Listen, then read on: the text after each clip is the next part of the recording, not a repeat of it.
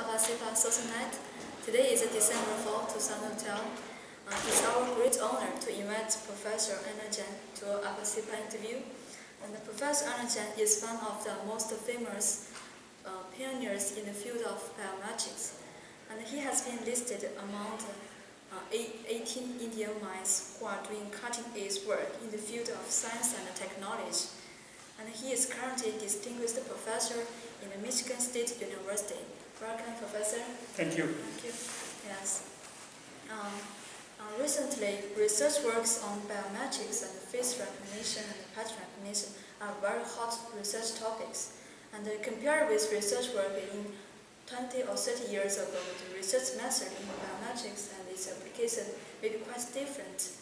And uh, could you please talk about what are the major differences um, of current biometric method and its applications uh, compared with before, and uh, what are the most challenges of biometrics research work now?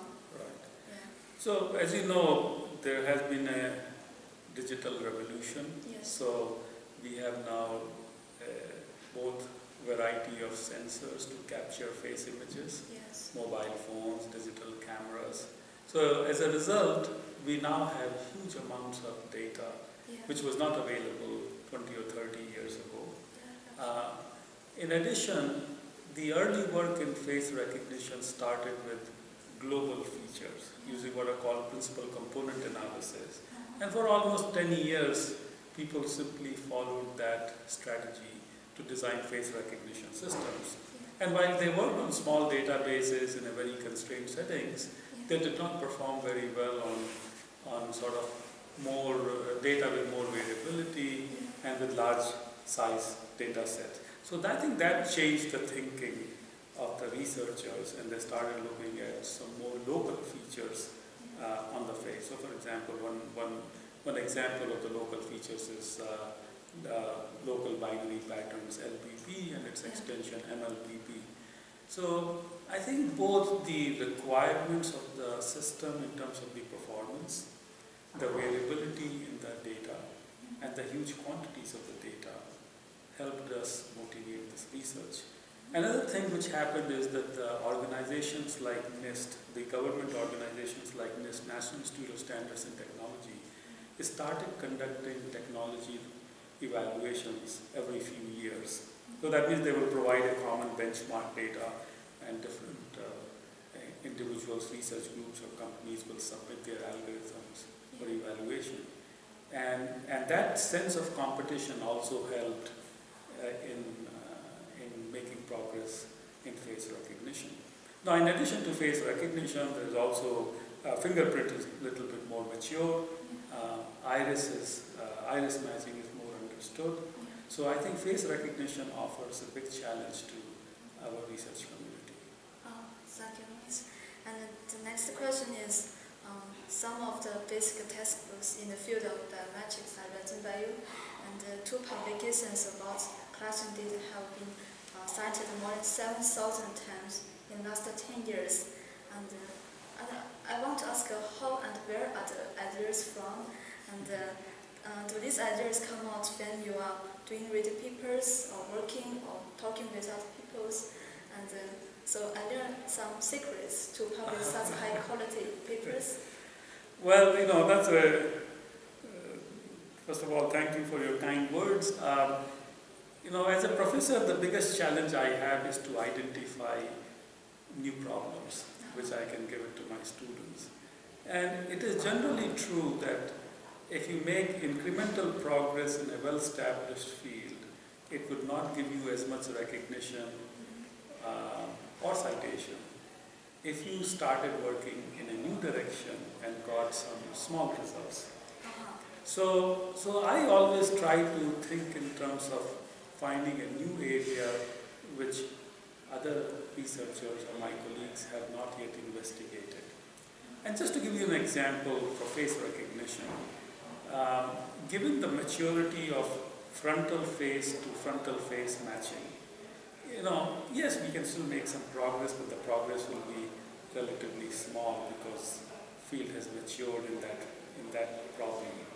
But you can get a lot more attention of your work uh, by looking at some difficult scenarios which have not yet been investigated. So face recognition under occluded conditions or some of the work which we are doing where we are matching a face sketch to a photo rather than photo to a photo but sketch to a photo or taking infrared image of the face and then matching it to the visible band image.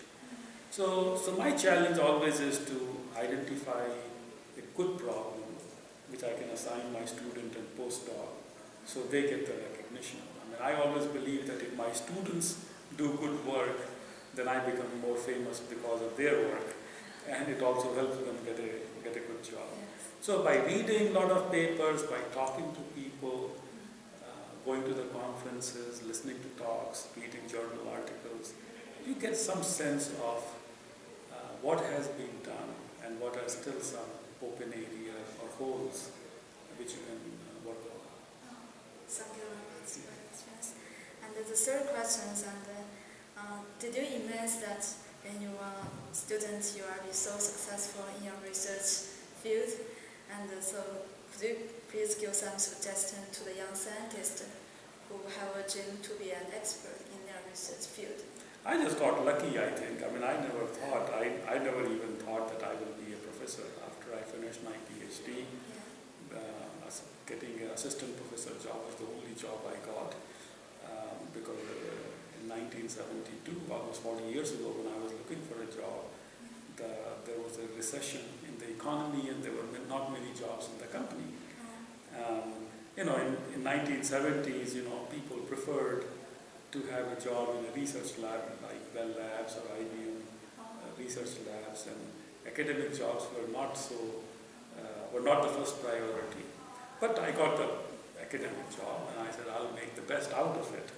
You, you cannot worry about what job you get.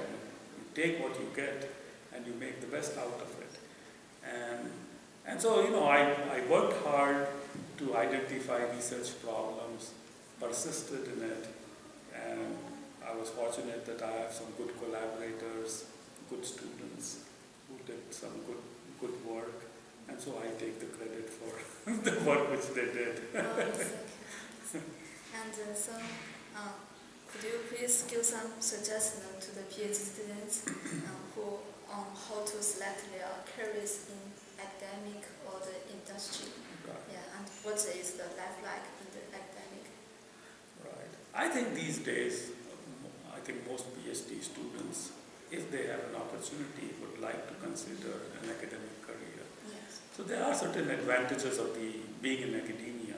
One of the biggest advantages, you have some flexibility in the choice of the problem. Also, in industrial labs, uh, you're not as free to pursue um, research on any topic. Somehow it has to be mission oriented because, after all, a company is in the business of making money and the economy is tight, more competition. So I think the researchers in industry are expected to follow a more rigid agenda.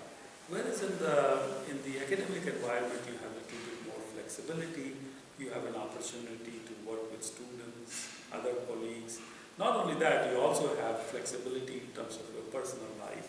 You don't have to show up at 8 in the morning and then leave at 6 or 7. You can rearrange your personal schedule. So I think another advantage is that the salary differential between academia and industry is not as much. You know, the starting salary is comparable between academia and industry. 20 or 30 years ago, industry used to pay more higher salary. So, so given the flexibility of personal lifestyle, the choice of the research problems, opportunity to work with the students, travel, you know, I mean, I think as a, as even as a PhD student, I think you travel more than some of the industry uh, researchers. So I think those are the advantages of being in academia. But having said that, academic life is also challenging and difficult. Yes. And why is it difficult? Because you have to juggle many things. As a professor, you have to do the teaching, Yeah. you have to publish, Yes. you have to supervise students, uh, you have to be a good citizen in the department, uh, publish papers. Yes. And so you have to manage many things and you cannot ignore anything. So if you ignore your classroom, I think you will get penalized. If you don't get any research grant, you may publish a lot, but if you don't get any research grant, that's also bad. Yeah. So you have to make sure that you are good in multiple categories. Whereas in industrial environment, the demands are, are, are not as widespread, you know. You have to do work, but you can do in some relatively narrow domain. Yes. So there are both advantages and disadvantages of uh, industry versus academia. Yeah. And the, the last question that I want to ask you is about uh, where where do you see this um, biometrics program in the future? And uh, could you please talk about the changes of the computer vision, face recognition, and biometrics in the next uh, 10 years? Right. So I think the biometrics is here to stay. I think people have realized that the, the traditional method of recognizing an individual or authenticating an individual based on ID cards, passports, or passwords, or PIN is not adequate. Mm-hmm. And we need a stronger method for authentication. Mm-hmm. And the stronger method of authentication is based on the body characteristics, which could be iris or face or voice. And so there are large-scale systems which are being deployed worldwide. Um, we already have systems uh, at the country level for law enforcement and forensics, but now for civil registration, as I mentioned about the India's UID program, that's opening up new challenges. Other countries are also following that. Now then comes into the consumer devices. Uh, it could be the, the mobile phones as an example. Why can't we authenticate the user of the mobile phone based on his voice, his face, and Yes, other, yes. other modalities? Surveillance cameras, that offers the, one of the most challenging opportunities for unconstrained face recognition. I think that's one of the biggest uh, uh, open problems uh, will be useful for students and other researchers. Yeah. Okay, thank